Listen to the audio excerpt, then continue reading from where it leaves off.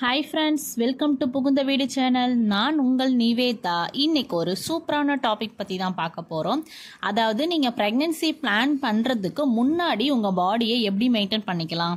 ஒரு சில சிஸ்டர்ஸ் என்ன சொல்கிறாங்கன்னா இப்போது என் ஹஸ்பண்ட் வந்து ஃபிப்ரவரியில் வருவாங்க. ஸோ அதுங்குள்ளே வந்து நான் என் பாடியை மெயின்டைன் பண்ணிக்கிறதுக்காக தான் வந்து உங்ககிட்ட நான் பேசுகிறேன் ஏன்னா என்னென்ன பண்ணணும்? ஸோ அது மாதிரி ப்ரீ ப்ரெக்னென்சி பிளான் என்னென்ன பண்ணலாம்? உங்கள் பாடியை எப்படி மெயின்டைன் பண்ணிக்கலாம்? அதாவது அது ஹஸ்பண்ட் ஆகட்டும் ஒய்ஃப் ஆகட்டும் ரெண்டு பேர்த்துக்குமே தான் இது சொல்கிறேன் அதுக்கு முன்னாடி என் ஃபோன் நம்பர் வேணும்னு கேட்குறீங்க என் ஃபோன் நம்பர் வேணும்னா நான் ஸ்க்ரீனில் ஒரு நம்பர் தரேன். அந்த நம்பருக்கு வாட்ஸ்அப் பண்ணுங்கள் அஸ் பர் யூடியூப் ரூல்ஸ் என்னாலும் சொல்லி ஷேர் பண்ணுவாங்க.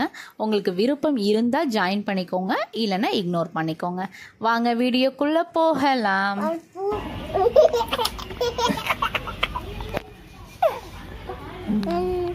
ஓகே ஃபர்ஸ்ட் ஆஃப் ஆல் வந்து நீங்கள் வந்து வெயிட் தான் நீங்கள் ஃபஸ்ட்டு பார்க்கணும். என்னடா இப்போ வெயிட்டு வெயிட்டு வெயிட்டு எல்லாமே சொல்கிறாங்க நம்ம நாற்பது கிலோ ஐம்பது கிலோ தான் இருக்கும். ஆனாலும் வெயிட் லாஸ் வச்சு நம்ம என்ன பண்ண போகிறோம் அப்படின்னு உங்களுக்கு ஒரு டவுட் இருக்கலாம். அதாவது வெயிட் லாஸ்ன்னு கிடையாது. அந்த வெயிட்டை கரெக்டாக மெயின்டைன் பண்ணிக்கணும்.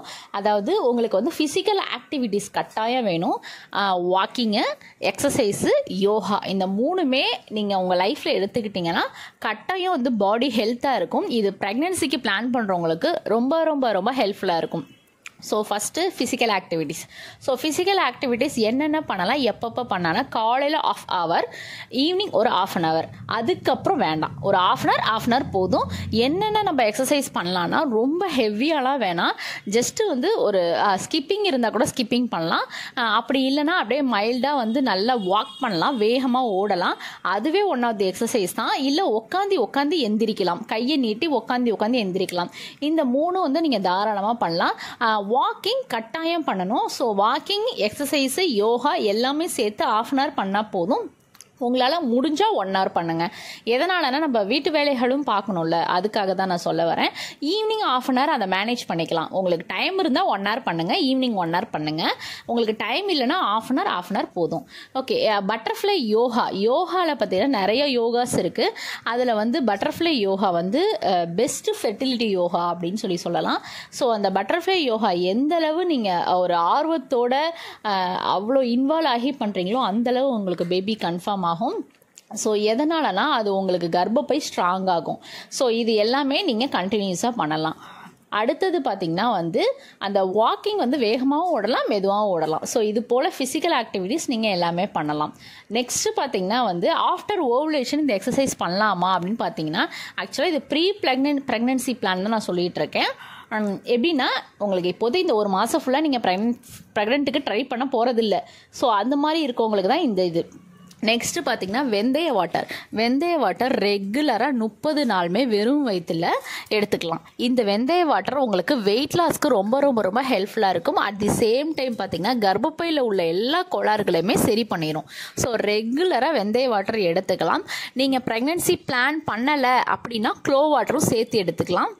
வெந்தய வாட்டரும் க்ளோ வாட்டரும் சேர்த்து எடுத்துக்க கூடாது. வெந்தய வாட்டர் காலையில் வெறும் வயிற்றுல எடுத்துக்கிட்டால் க்ளோ வாட்டர் மது அதாவது ஆஃப் அன் அதை லெவன் ஓ கிளாக் சாப்பிட்டதுக்கப்புறம் ஆஃப் அன் ஹவர் கழிச்சு. எம்டி ஸ்டொமக்கில் வெந்தய வாட்டர்னா க்ளோ வாட்டர் சாப்பிட்டதுக்கப்புறம் ஆஃப் அன் ஹவர் கழிச்சு எடுத்துக்கணும். ஸோ இந்த வெந்தய வாட்டர் க்ளோ வாட்டர் முப்பது நாளுமே எடுத்துக்கலாம். நீங்கள் ப்ரெக்னென்சி பிளான் பண்ணலைன்னா முப்பது நாளுமே எடுத்துக்கலாம். இல்லைனா பிஃபோர் ஓவுலேஷன் வரைக்கும் தான் க்ளோ வாட்டர் எடுத்துக்கணும். வெந்தய வாட்டர் ஆஃப்டர் ஓவுலேஷன் வரைக்கும் கூட எடுத்துக்கலாம். நெக்ஸ்ட்டு பார்த்தீங்கன்னா ஸ்ட்ரெஸ்ஸு ஸ்ட்ரெஸ்ஸு ஸ்ட்ரெஸ்ஸுன்னு சொல்கிறாங்க இது என்ன ஒரு பெரிய விஷயம்? நான் நான் ரிலாக்ஸாக தான் இருக்கேன். அப்படின்னு நீங்கள் நினச்சிட்டு இருப்பீங்க. உங்களுக்கு அந்த பேபின்ற ஒரு விஷயம் ஸ்ட்ரெஸ்ஸே உங்களுக்கு முழுக்க முழுக்க முழுக்க அப்படியே மண்டையில் போய் கோத்து சரியான முறையில் தூக்கம் வராது. அதே போல் தூக்கம் இல்லைனாலே பாடி வெயிட் போட ஆரம்பிச்சிரும். ரொம்ப மனக்கவலைகள் உளுந்துரும். நீங்கள் ஃபேமிலியாக இருக்கும் பொழுது கூட உங்களால் இன்வால்வ் ஆகி இருக்க முடியாது. பேபிக்காக இருக்கிற மாதிரி ஒரு சூழ்நிலைக்கு தள்ளப்படுவீங்க. அந்த மாதிரி சூழ்நிலையில் நீங்கள் ஃபேமிலியாக இருக்கும் பொழுது உங்களுக்கு பேபியும் செட் ஆகாது. ஸோ நீங்கள் ஃபஸ்ட்டு வந்து அந்த ஸ்ட்ரெஸ் இல்லாமல் உங்கள் பாடியை மெயின்டைன் பண்ணிக்கோங்க. இந்த ஸ்ட்ரெஸ்ஸு வந்து அதாவது இந்த ஸ்ட்ரெஸ்ஸுனாலையும் உங்களுக்கு வெயிட் போடுதுன்றதை நீங்கள் மைண்ட் பண்ணிங்கன்னா கட்டாயம் ஸ்ட்ரெஸ் இல்லாமல் இருக்கலாம். நான் எப்படி சிஸ்டர் ஸ்ட்ரெஸ் இல்லாமல் இருக்கிறது? எங்கள் மாமியார் வீட்டில் டெய்லியும் ப்ராப்ளம் பண்ணுறாங்க எப்படி சொல்கிறது என்னோட என்னோட நாத்தனாருக்கு எனக்கு அப்புறம் கல்யாணம் ஆகி குழந்த பிறந்துச்சு இது மாதிரிலாம் இருக்கிறப்ப நான் எப்படி ஸ்ட்ரெஸ் இல்லாமல் இருக்கிறது? உங்களோட இது எனக்கு எல்லாமே நல்லா அண்டர்ஸ்டாண்ட் ஆகுது. அதனால தான் நம்ம சேனல் சேனலில் ஒரு பாசிட்டிவ் வைப்ஸ் பாசிட்டிவ் எனர்ஜி அப்படின்னு நான் சொல்லிகிட்டே இருக்கேன். நம்ம சப்ஸ்கிரைபர் கூட நிறைய வாட்ஸ்அப்பில் சேட் பண்ணியிருப்பாங்க. நிஜமாலுமே உங்ககிட்ட பாசிட்டிவ் வைப் இருக்குன்னு. அப்போது என்ன நீங்களே உங்களை மாற்றிக்கிறதுல தான் இருக்குது நான் ஒருத்தி சொல்லி தான் நீங்கள் மாறணுன்றது கிடையாது. அதை ஃபஸ்ட்டு அண்டர்ஸ்டாண்ட் பண்ணிக்கோங்க. நீங்கள் என்கிட்ட பேசி தான் அந்த பாசிட்டிவ் எனர்ஜியை வாங்கணும் அப்படின்லாம் கிடையாது. நீங்களே உங்களை மாற்றிக்கலாம் ஸோ எதையுமே நீங்கள் பாசிட்டிவாக எடுத்துகிட்டே இருக்கணும். கடவுள் பக்தி இருந்ததுன்னா ஆட்டோமேட்டிக்காக பாசிட்டிவாக இருக்கும். ஈவன் தோ எனக்கு கூட நெகட்டிவ் திங்கிங் நிறையா இருக்கும். அப்போ நான் உடனே நம்ம ஏன் இப்படி நினைக்கிறோம்? இப்படி நம்ம நினைக்கக்கூடாது. நம்ம பாசிட்டிவாக நினைக்கணும். அப்போ இப்போ ஒரு எக்ஸாம்பிளுக்கு சொல்கிறேன் இப்போ பைக்கில் போகிறப்ப விழுந்துட்டா என்ன ஆகுறது? அப்படின்னு நானாக திங்க் பண்ணுவேன். திடீர்னு அப்புறம் சே நம்ம ஏன் இப்படி நினைக்கிறோம்லாம் நினைக்கக்கூடாது. அப்படின்னு சொல்லி அந்த சாமி வந்துட்டு டக் நல்லபடியாக பாசிட்டிவாக நினைப்பேன். நம்ம மறுபடியும் கார்லாம் வாங்கிடணும் நல்லா பெரிய வீடு வாங்கணும் அப்படின்னு சொல்லி நான் பாட்டுக்கு வேறு திங்கிங்கில் இமேஜினேஷன் போயிடுவேன். ஸோ இது போல் உங்களுக்கும் இருந்தால் நீங்களே உங்களை மாற்றிக்கிறது தான் ஒரே வழி. ஸோ மூணு முடிஞ்சிருச்சு. வெயிட் லாஸு எக்ஸசைஸு ஸ்ட்ரெஸ்ஸு இந்த மூணும் எடுத்துக்கோங்க. அடுத்தது பார்த்திங்கன்னா அந்த வெந்தய வாட்டர் க்ளோ வாட்டர் சொல்லியிருந்தேன்.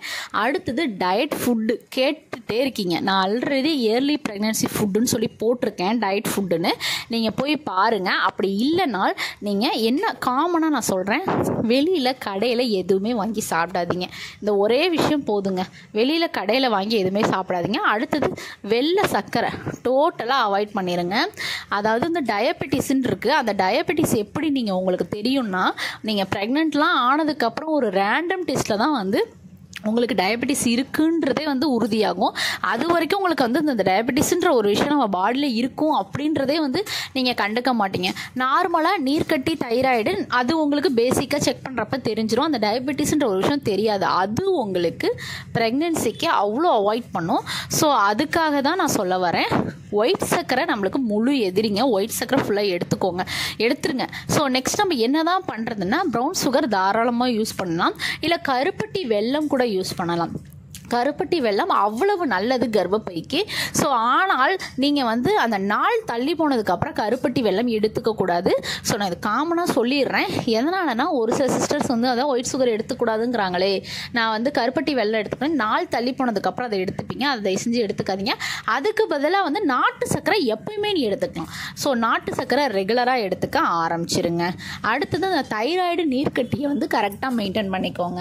நீர்க்கட்டிக்கு டேப்லெட்ஸ் டே டாக்டர் கொடுத்துருந்தாங்கன்னா அந்த அந்த அந்த டேப்லெட்ஸ் வந்து போட்டால் ப்ரெக்னென்சி சேர்த்து அஃபெக்ட் ஆகுமான்றதை கேட்டுக்கோங்க.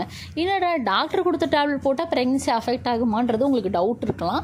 ஆக்சுவலாக அந்த நீர்க்கட்டி டேப்லெட் பார்த்திங்கன்னா உங்கள் பீரியட்ஸை ரெகுலர் ஆக்கிட்டு தான் வந்து ப்ரெக்னென்சி பிளான் பண்ண சொல்லுவாங்க. ஆனால் நீங்கள் வந்து ப்ரெக்னென்ட் ஆ ஆகணும்னு சொல்லிட்டு ஒரு சைடு கவலைப்பட்டுட்டே உட்காந்துருப்பீங்க அந்த டேப்லெட்டும் போட்டுக்கிட்டு. உங்களுக்கு அது வந்து கருத்தடை மாத்திர மாதிரி தான்.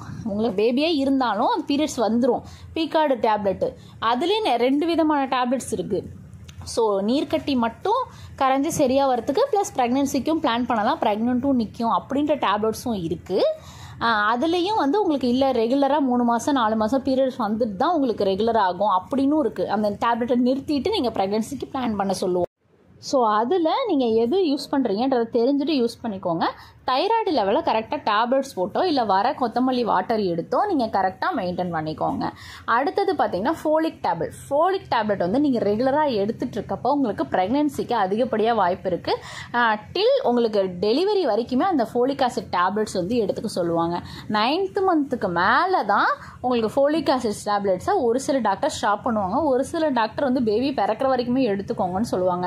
அப்போ அது எந்த அளவு பெலி பெனிஃபிட்டுன்றதை நீங்கள் பார்த்துக்கோங்க ஸோ ஃபோலிக் ஆசிட்ஸை வந்து நீங்கள் டே டாக்டர்கிட்ட கேட்டு நல்லா ஷெட்யூல் போட்டு வாங்கிக்கிட்டு இப்போ ஒரு மாதிரி த்ரீ மந்த்ஸ் கழித்து உங்கள் ஹஸ்பண்ட் வராங்க அப்படின்னா அதுக்கு தந்தப்போ உங்கள் பாடியை மெயின்டைன் பண்ணிக்கலாம். ஓகே இந்த வீடியோ பார்த்துட்ருக்கவங்க எல்லாருக்குமே பேபி கன்ஃபார்ம் ஆகணும்னு சொல்லி சாமிகிட்ட வேண்டிக்கிறேன். Bye friends